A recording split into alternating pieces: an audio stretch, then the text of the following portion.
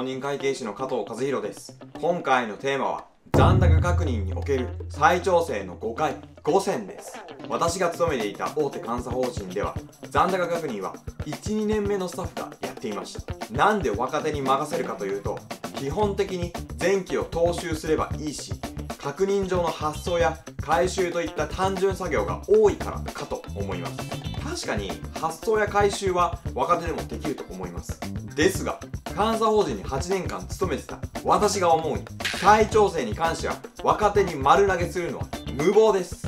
再調整はめちゃくちゃ奥が深い。そこそこの年次の人に再調整やらせてもいまいちだなーって思うことはよくあります。今日はそんな誤解が多い再調整のポイント5つについて説明します。結構ハイレベルですけどついてきてください。それでは早速いってみましょう。残高確認における再調整の5回その1少額だからといって検証せずに放置するのはダメです。たまにありません？マイナーパスだらけになってる長所おそらくパスの意味を理解しない気がします。というのもパスという言葉はエラーだけど少額だから修正しません。という意味です。逆になんか差異出てて原因知らんけど少額なのでもう検証しません。という意味で使うのはいまいちです。つまりエラーかどうかは確認せいということです。なんでかというとプラスの際とマイナスの際が相殺されて少額になってる可能性があるからです。例えば極端な例ですが1億円の売掛金の再調整で1万円の際がありました。でもこの1万円って5000万円のプラスの際と4999万円のマイナスの際が相殺されている可能性ありますよね。しかも5000万はエラーではなく4999万円はエラーだったら大問題です。特に残高確認は売上や経費の商標突合と異なり主にストックの検証なので差異の要因が複数あります。なので相殺されている可能性は往々にしてあります。だからこそなぜ差異が発生しているかを検証すべきなのです。ただどこまで裏を取るかは監査人の判断によります。ヒアリングだけでいいのかエビデンス揃える必要があるのか。それは監査人の判断によります。ですが商標突合において不明さえを放置するのは基本なしです。残高確認における再調整の5回その2修正を確認したからといってエラーから除外してはダメです。例えば期末日から3ヶ月前を基準日として残高確認を行っている場合を想定してください。基準日時点では間違ってた処理をしていたけど翌月に気づいて直しました。修正伝票もありますっていう際があるとします。ここでこの際は翌月修正したからといってエラーの集計対象から除外できません。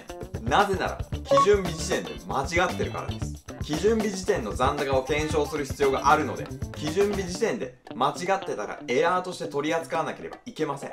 じゃあもしそのエラーが超特殊で期末までに直したから期末日時点の残高が問題ないとしたい場合はどうするか。私なら例外的誤謬であるドキュメントをしっかりしてさらに追加で同じエラーが起きてないことを確かめる手続きを期末でもやるのがいいかなと思います。例えばその得意先だけ期末日基準でもう一度残高確認状を送るとかですかね。特に正解はないのでそういう状況に直面したらチームで検討してみてください。残高確認における再挑戦の5回その3エラーかどうかの検討が浅いです。例えば月ずれのため問題ないというコメントがあるとします。この月ずれを超厳密に言うと会社は出荷日で売上計上をしているが得意先は納品日で仕入れ計上をしているため出荷納品までの間に月をまたいだものは差になるということだと思います。差異理由が月ずれだからすなわち問題ないと判断していいのでしょうか。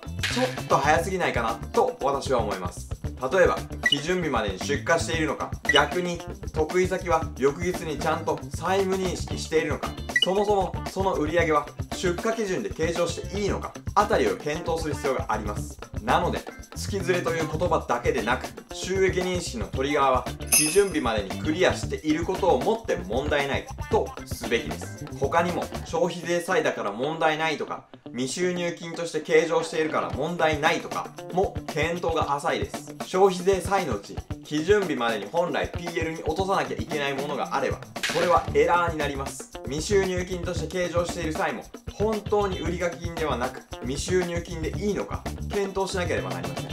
残高確認における再調整の誤解その4とりあえず何かと突合すればいいわけじゃないです。例えば月ずれの際について翌月分の支払い通知書で得意先が翌月に債務認識しているのを確認したとします。ですが果たしてそれは十分でしょうか？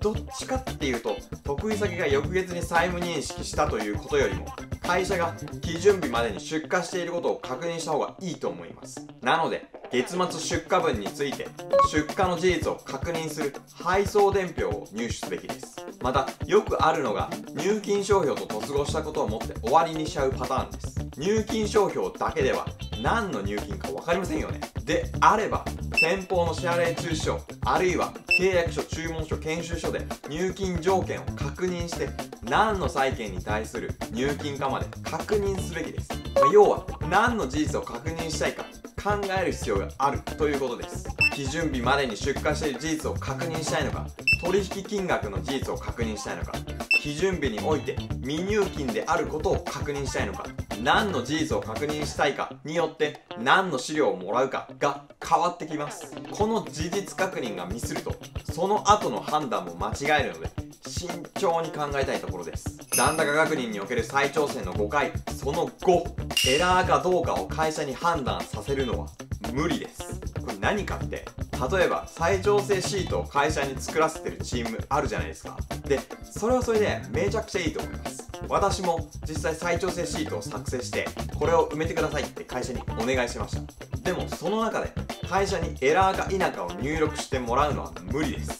なぜかというと何をもってエラーと判断するかが難しいからです。おそらく会社はオペレーション上のエラーをエラーとして入力すると思います。でも監査人が知りたいのは会計基準に照らして問題ないかどうかですよね。それは監査人でないと判断できないと思います。さらに判断なので絶対という基準はありません。A さんが見たらエラーって判断するし B さんが見たらエラーじゃないって判断するかもしれません。監査人でも意見が分かれます。なのでエラーかどうかを会社に判断させるのは余計な揉め事を増やすのでやめましょう。以上残高確認における再挑戦の5回5選でした。珍しく一言もおふざけせずに終わっちゃいました。まあそれだけ奥が深いということです。いかがでしたでしょうか？役に立ったよという方はいいねとチャンネル登録をご意見ご感想をぜひコメント欄で教えてください。と。Twitter も毎日投稿してます。DM でキャリア相談職場でのお悩みなどなどお気軽にどうぞ。それでは次の動画でお会いしましょう。本日もご視聴いただきありがとうございました。他にも消費税代価 他にも消費税